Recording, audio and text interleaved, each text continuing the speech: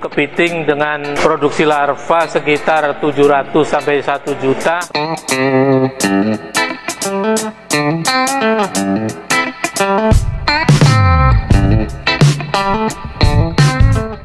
Halo, apa kabar sahabat bisnis terbaru? Kepiting tidak hanya bisa dibudidayakan melalui keramba saja. Ada banyak sekali media yang bisa digunakan sebagai salah satu tempat yang katanya dapat digunakan sebagai media budidaya kepiting. Namun untuk proses penggemukannya sendiri, hewan yang satu ini bisa dibudidayakan menggunakan ember saja ya guys.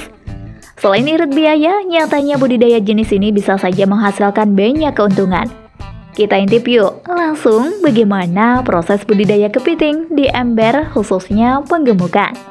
Ini dia, cara penggemukan kepiting di ember.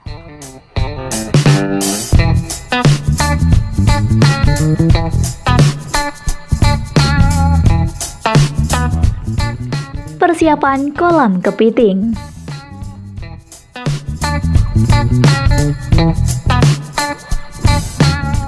Langkah awal dalam budidaya kepiting ini adalah dengan mencari lokasi yang sesuai dengan tumbuh kembang kepiting. Hindari lokasi yang menjadi langganan banjir, serta jauhkan dari pengaruh polusi yang berlebihan.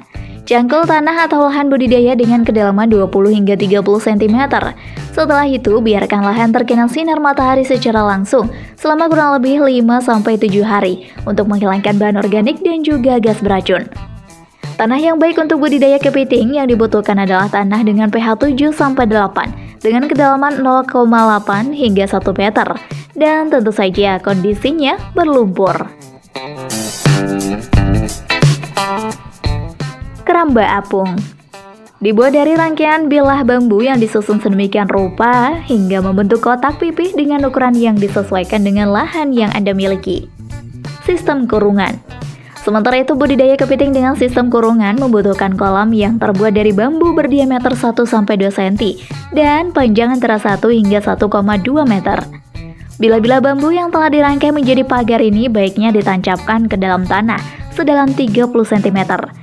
Selain menyiapkan kolam untuk budidaya kepiting, Anda juga harus mengetahui bagaimana cara merawat air kolam kepiting bakau atau kepiting. Dengan menaburkan dan melarutkan GDM Black Boss ke dalam kolam sebanyak 50 gram air kolam, membantu kepiting terhindar dari segala penyakit atau mencegah kepiting tertular penyakit.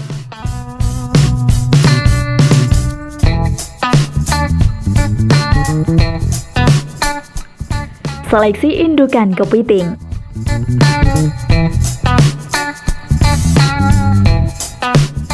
Budidaya kepiting dapat dimulai dengan menyeleksi indukan. Dengan seleksi indukan, kepiting air tawar yang baik, maka proses budidaya kepiting air tawar akan menjadi lebih maksimal. Proses dalam pemilihan benih kepiting bakau berkualitas adalah kunci utama dalam cara budidaya kepiting bakau di tambak. Benih kepiting bakau yang bagus agar diharapkan dapat memberi anakan yang bagus juga dan hasil panen dapat melimpah. Sehingga dalam pemilihan indukan kepiting bakau ini harus sangat diperhatikan.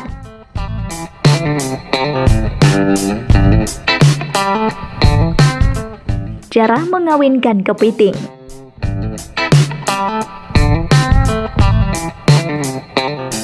Setelah mendapatkan indukan kepiting yang baik, maka langkah selanjutnya dalam budidaya kepiting yaitu mengawinkan kepiting.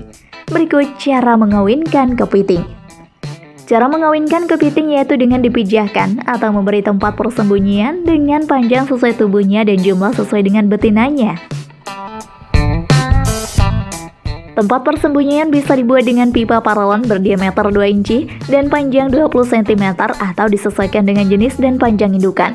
Kepiting dipijahkan di dalam bak selama 2-3 minggu hingga terjadi proses perkawinan indukan. Jika menggunakan metode perkawinan massal, pada tebar maksimal 25 pasang per meter persegi. Jika Anda menyukai video ini, silahkan klik like dan subscribe untuk mendapatkan video update terbaru dari kami.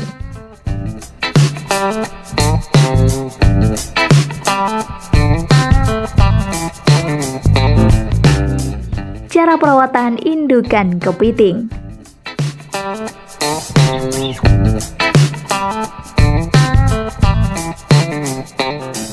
Dalam kurun waktu 5-10 hari, kepiting indukan sudah terlihat gemuk jika dirawat dengan baik dan benar.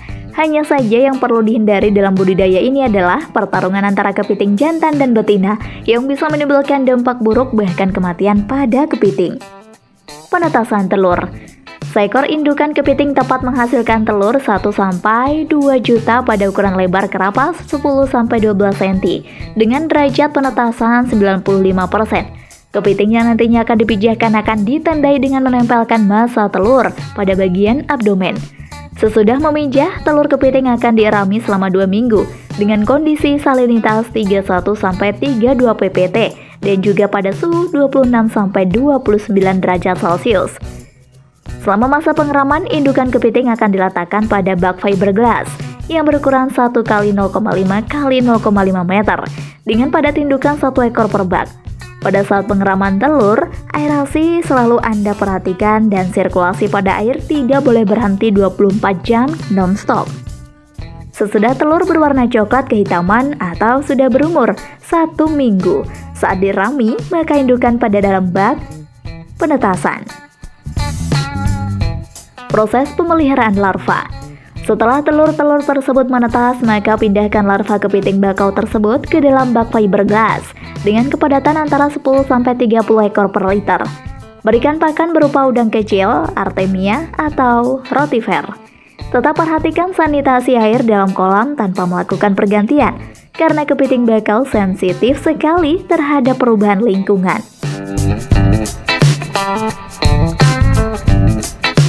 Cara pembesaran benih kepiting media ember.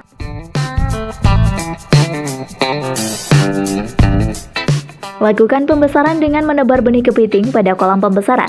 Agar bibit-bibit tersebut tidak mengalami stres, penebaran hendaknya dilakukan saat pagi hari di media ember.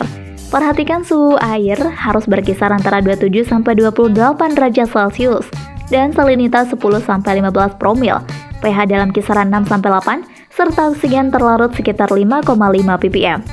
Semua itu memang harus dilakukan dengan cermat agar budidaya kepiting bakau Anda sukses sampai panen. Untuk cara budidaya kepiting air tawar, proses penebaran benihnya dilakukan secara tradisional, yaitu dengan cara memasukkan benih di tepi kolam. Ada pula yang menebar benih hasil tangkapan di sungai atau sawah ke dalam kolam budidaya. Sebelumnya Anda harus memastikan bahwa ketinggian air di kolam mencapai 100 cm. Kepadatan bibit kepiting air tawar yang ideal adalah 70 ekor per unit atau 50 gram per ekor. Setelah melakukan tebar benih, jangan lupa Anda perlu memberikan suplemen kepada bibit kepiting yang sudah ditebar. Hal ini berfungsi untuk menyuburkan bibit kepiting.